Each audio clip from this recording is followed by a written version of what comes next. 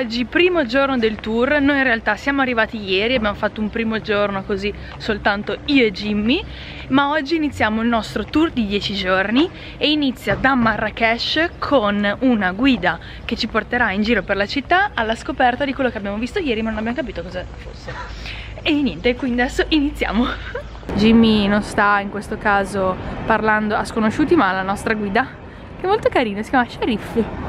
Queste due palme sono in realtà finte perché nascondono dei uh, ripetitori e per non dar nell'occhio, per non distruggere il panorama le hanno nascoste in queste due palme. È incredibile quanto sia verde questa città. C'è una cura dei giardini pazzesca. Ed ecco un matto. Qui stiamo entrando nella casba che è praticamente l'inizio della Medina. Diciamo che è la testa mentre la Medina è il corpo ha detto la guida non ho capito. E lì su ci sono delle cicogne a controllare l'ingresso. Ora siamo nel quartiere ebraico dove praticamente sopra hanno la casa e sotto la bottega. E qui boh, vendono sempre un po' di tutto. Comunque abbiamo sentito delle spezie troppo buoni. Sono a base di pigmenti naturali, giallo zafferano, verde menta, rosso papavero, arancia e e blu e, e indaco. Cioè tutto viene fatto con colori naturali Ragazzi abbiamo trovato un nuovo posticino dove fare il pollo. Allora siamo arrivati a pranzo in questo posto spettacolare e per scegliere i piatti una cosa che facciamo spesso io e Jimmy è andare su TripAdvisor e vedere i piatti che sono stati fotografati, postati e capire anche così un po' cosa si sta scegliendo, quale magari ci ispira di più, quale ci ispira di meno. Vedete che ci sono già il nome e quello che alla fine qui non potresti mai capire cosa stai scegliendo. Allora abbiamo un'insalata di pomodori e un'insalata araba che è pomodori, cetriole, uova e olive yes. Sono arrivate le tagine. Agnello con verdura. Tu hai preso couscous con pollo ceci pollo e verdure. e verdura. Eccolo il pollo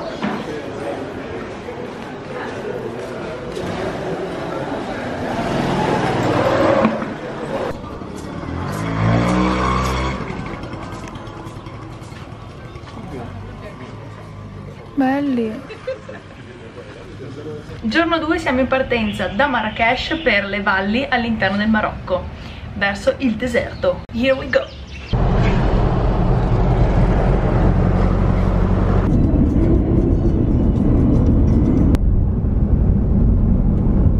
Siamo nel mezzo del Marocco, praticamente nel deserto, ma siccome c'è un fiume che passa in mezzo, qui è verde, ma io non so se la fotocamera rende quanto verde sia. C'è un verde che in Italia davvero vedi nei giardini stracurati e curatissimi. E poi sali su e c'è uno stacco assurdo dove è praticamente gri cioè grigio, rosso, deserto e oh, pazzesco ci siamo fermati in questo riad per mangiare e adesso vediamo cosa ci offrono. Ah, iniziamo con dell'insalata mista. Prima tagine e seconda tagine. Siamo nella valle del Dades e questo contrasto rosso e verde è qualcosa di fenomenale, bellissimo. Siamo arrivati al nostro Riyadh e veniamo accolti con del tè e biscottini. Guardate che carino Riyadh, dove ci hanno sistemato per questa notte. È esattamente sulla valle.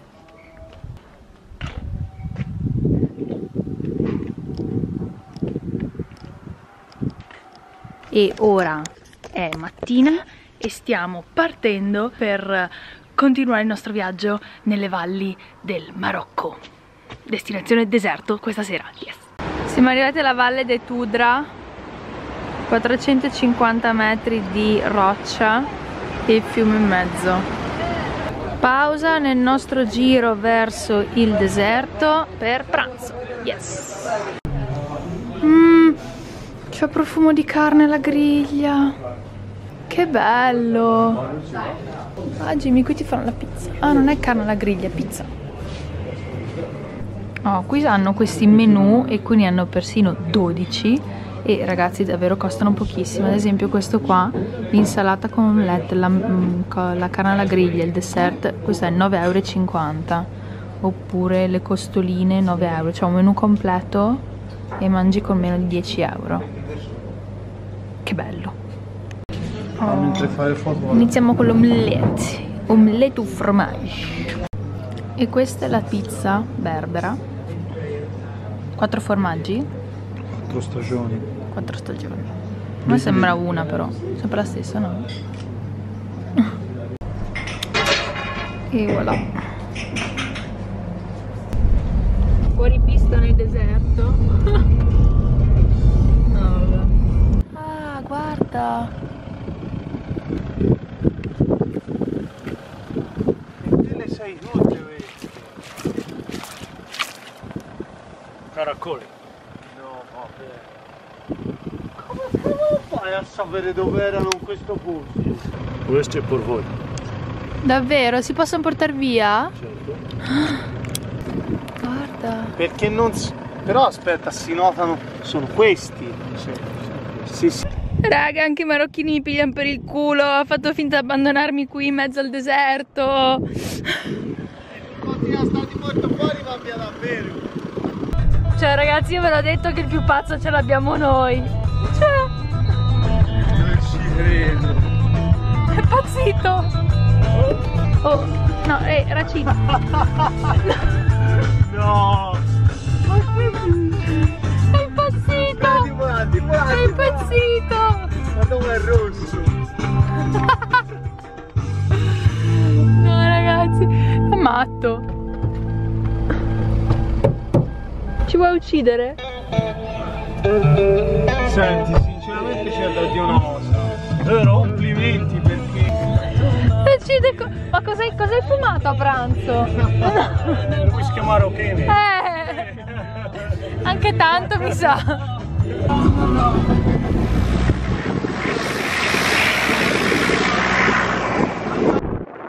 Siamo nel mezzo del deserto, cioè ve lo giuro proprio, non c'è nulla qui intorno. E questa è una famiglia nomade. Cioè, questi vivono qui, sempre. Salam. Salam. Questa è la loro cucina. Il forno di paglia. Loro non utilizzare le gas. Linea. Si lascia il forno caldo e poi lascia il, fo- il Scusa, ma cosa cucinano? pani. Questo dove si fa fare i pani. Questo dove fare tagine e anche couscous. Ma dove trovano gli ingredienti? Come c'è uh, quando si mangiano giorni dei mercati. A Resani, il mercato che vediamo domani. Devo Ah. andare là a comprare lo che, lo che- lo che- Ah, ok, quindi comunque vanno lì, comprano e là, tornano certo, qui. Certo. Però vivono in mezzo al deserto. Mezzo de- deserto, certo. Ma perché? Perché loro sono abituati a questa vita. infatti. Eh vabbè, chiedo. oh. Non c'è il problema. Jimmy the Explorer che regala caramelle. Eh? Eh, no, attento.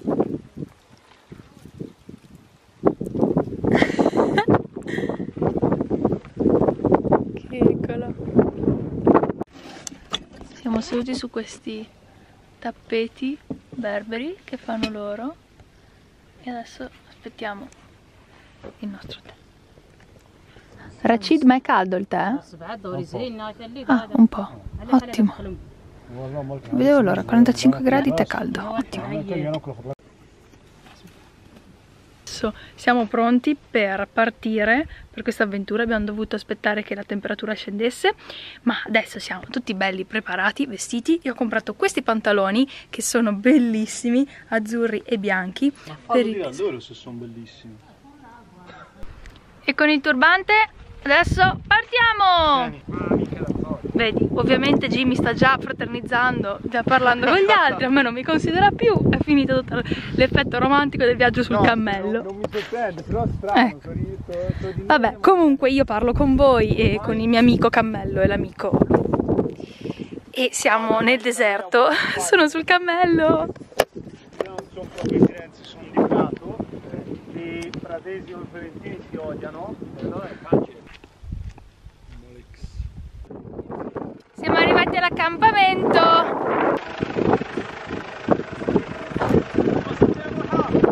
Wow! Hello! Qual è la nostra tenda? Quella? Oh, iniziamo questa cena nel deserto con... Uh, è entrato! Ah, pretende. Oh, tagine di... Thank you. Thank you. Bollente, fuma ancora. È tutto caldo. Qui ragazzi si muore di caldo. Ci siamo svegliati alle 6 del mattino per vedere l'alba. E ovviamente cosa c'è? Le nuvole! Abbiamo avuto sfiga. Ieri sera non si è vista nemmeno una stella, cioè vabbè qualcuna, perché era pieno di nuvole. Però è stata un'esperienza fantastica, cioè Sì. fantastica nel senso abbiamo, alla fine non abbiamo dormito sotto le stelle ma abbiamo dormito in tenda perché io avevo paura degli animali e c'era un caldo 40 gradi in camera. È stata una notte lunga molto lunga. Oh, e l'alba è arrivata. Che bellezza siamo in mezzo al nulla totale. È una scimmia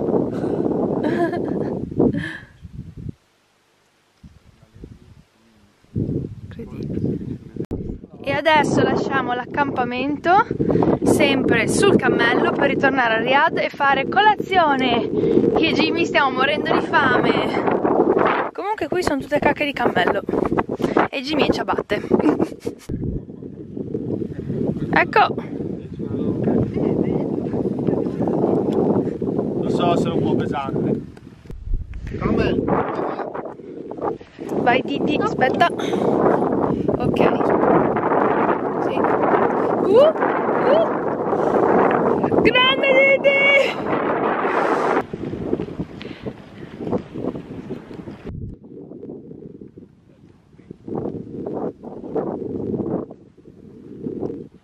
Siamo ritornati a Riyadh e ci hanno preparato la colazione che è tutta coperta.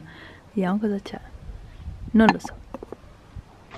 Olio, formaggio, marmellata, marmellata, olive, uova, zucchero. Poi hanno preparato queste piadine e cose. Io, siccome ho i miei problemini, mi sono preparata sia le mandorle che i semi canapa e sotto anche dell'avena che però sta per finire. Finito il tour nel deserto, siamo ripartiti verso le città, facendo però una mini sosta a Midelt. E poi siamo venuti nel mercato più antico del Marocco. E questa è la sezione delle spezie degli odori, delle ah, erbe medicinali. È tutto naturale. Le spezie ce le abbiamo già, quindi No, no. Sì. Stop per il pranzo in questo giardino, sì all'ombra. In molti su Instagram mi avete chiesto come mi sono organizzato, comunque come sto sopravvivendo per il senza glutine e essenzialmente quando vado a pranzo e cena prendo sempre le tagine che sono delle specie di pentole a pressione possiamo dire dove loro mettono gli ingredienti poi le mettono sul fuoco, mettono il coperchio e essenzialmente te lo portano a tavola pronto. Quindi non c'è contaminazione, cross contamination e mm, sono essenzialmente senza glutine Mm, perché, se met- odore. perché se non ci mettono il couscous sono senza glutine e ad esempio in questo ristorante sono fatte lontano dalla cucina dove cucinano il pane quindi sono 100% sicura pranzo con brusche, no, bruschette che sono spiedini di carne, tagine E, e mosche. siamo arrivati nel Riyadh a Midelt. Guarda! Bellissimo! Oh, si cena. Excuse me, want to drink something? Uh, water. Still, minerale. Still, yes. Thank you. Oh, e come sera tagine. Torneremo a tagine. Giorno di viaggio numero 5, partiamo alla volta da città imperiale Fes. Yalla! Yalla! Yalla! Siamo nel bosco di cedri dove ci sono le scimmie. Che fai? Le pulci? Guarda! Gli pesca le pulci e se le mangia.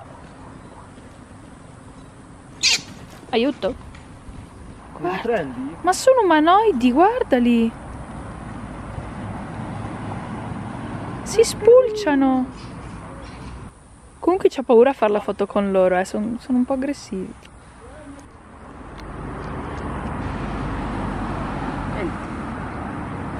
I piccolini hanno paura. Oh, siamo nel Riad di Fes. Permesso. Wow.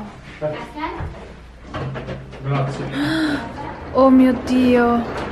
Ah, è bellissimo. Apri. E questa è la nostra stanza. Oddio, ma è enorme.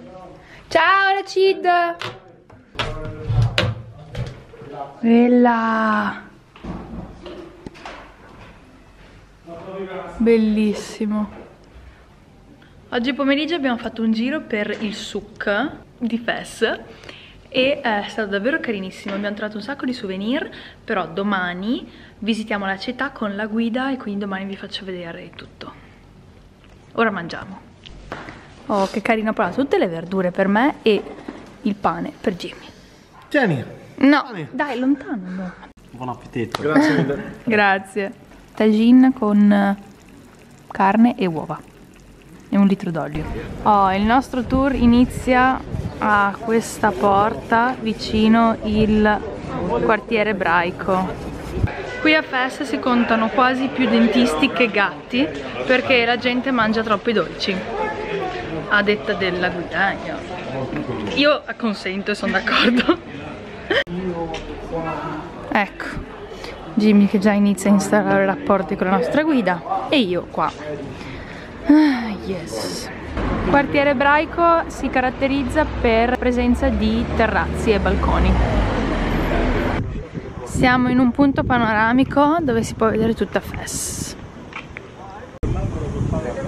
Tutta la Medina di Fes è enorme, conta più di 9400 strade. Siamo nel quartiere dei ceramisti. L'ho fatto io, viene una torretta.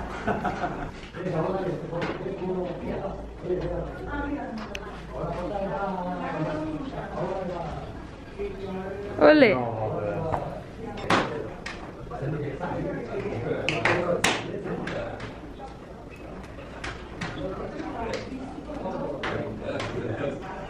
Olè, bravo. Sono tutte colorate però le mettono così al rovescio.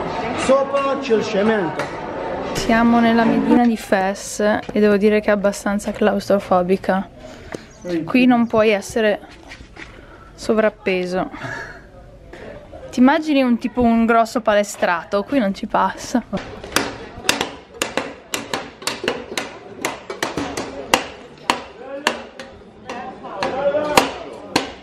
Il bicipite che ha quel figliolo.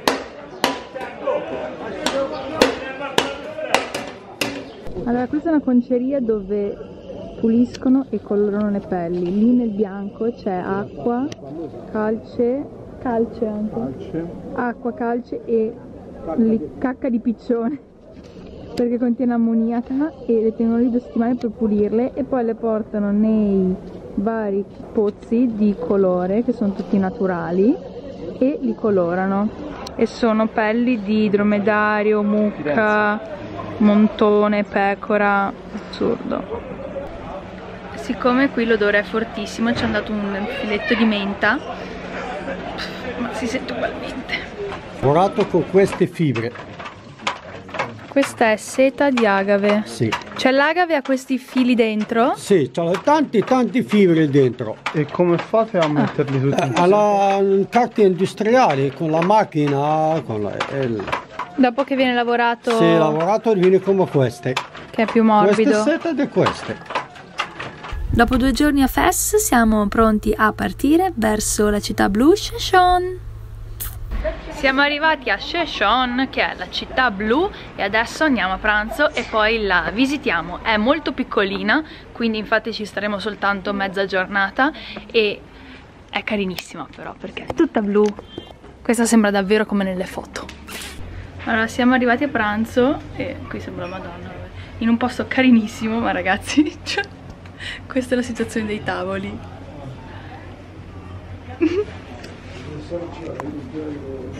Vabbè, io mi siedo, eh. Vi possiamo sinceramente dire che Sheshon è la città più profumata fino ad ora, vero? Concordo. C'ha un profumo di cannella, caramello, non lo so, è, è buonissimo, davvero profumatissimo. Ha un profumo, basta. Non specifichiamo. Non sappiamo, non specifichiamo.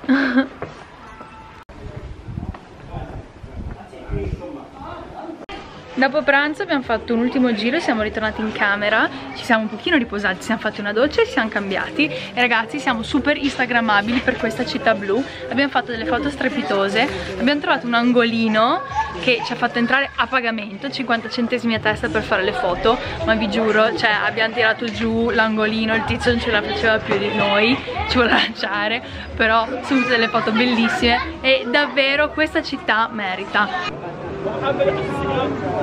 Che bello.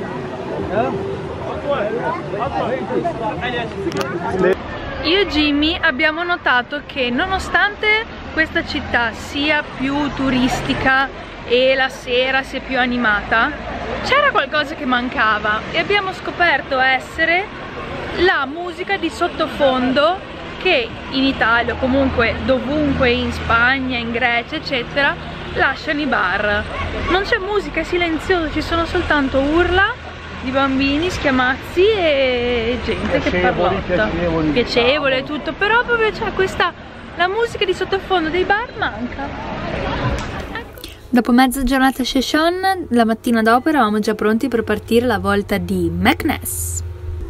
Arrivati a McNess, la nostra guida ci ha portato a mangiare in questo ristorante super royal. Allora, recentemente non vi ho più fatto vedere cosa abbiamo mangiato perché alla fine è sempre la stessa roba, tagine, eccetera. Ma oggi L'evento più unico che raro. trovato la pastiglia, che è tipo una tortina di pollo. Sì. Cos'è? Vediamo, la apri. Ma c'è la cannella sopra? Mi sa un po' Ah, è tipo pe- filo pastry ripiena di carne. Bella. Bella questa, non l'ho ancora trovata. No, O comunque non ci, eh. sì, ma non ci ispirava molto. Non ci spia. Oddio, piena di cannella. Ok. Bene. E io ho questa, che è davvero la mia tagine preferita e questa cercherò di rifarla anche a casa perché è semplicemente macinato, pomodoro e un uovo aperto sopra. Ma è buonissima, davvero. Tanto bella quanto schifosa. È carne cucinata con la cannella, nella filo pastry e cannella. Cioè carne dolce. Not impressed. Povero Jimmy.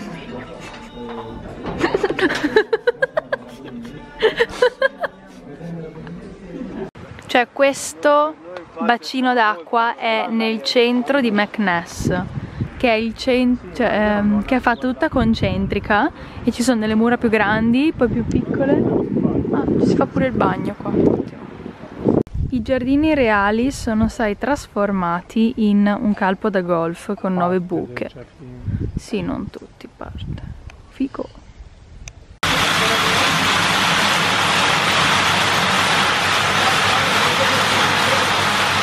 Dopo il giro per McNess siamo arrivati in Riyadh, siamo abbastanza stanchi e quindi abbiamo passato il pomeriggio a rilassarci a Porto Piscina e io l'ho anche passato a leggere dal Kindle che mi ha regalato la Vale per la mia laurea.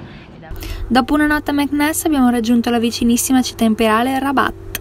Siamo arrivati a Rabat dove c'è la terza torre gemella di quella che abbiamo visto a Marrakesh e che abbiamo visto l'anno scorso a Siviglia.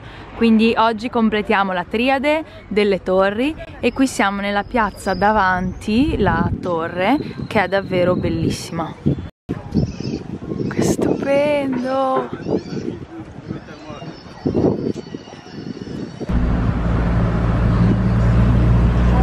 Quante bandiere!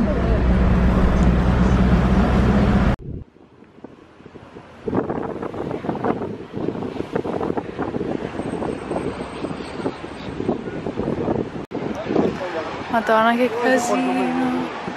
Che figo! Cioè, bello!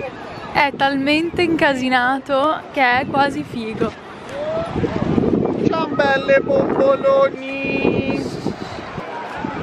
Ma guarda, quelle le ciambelle c'è davvero! Ecco le ciambelle. Che bello. Madonna, ma c'è puzzo. C'è, lo so, c'è puzzo di merda. E infine abbiamo completato il nostro tour ritornando a Marrakesh. Rabat verso Marrakesh ci siamo fermati a Casablanca dove c'è questa moschea che è l'unica visitabile ma purtroppo siamo fuori orario visita e quindi non riusciamo a vederla.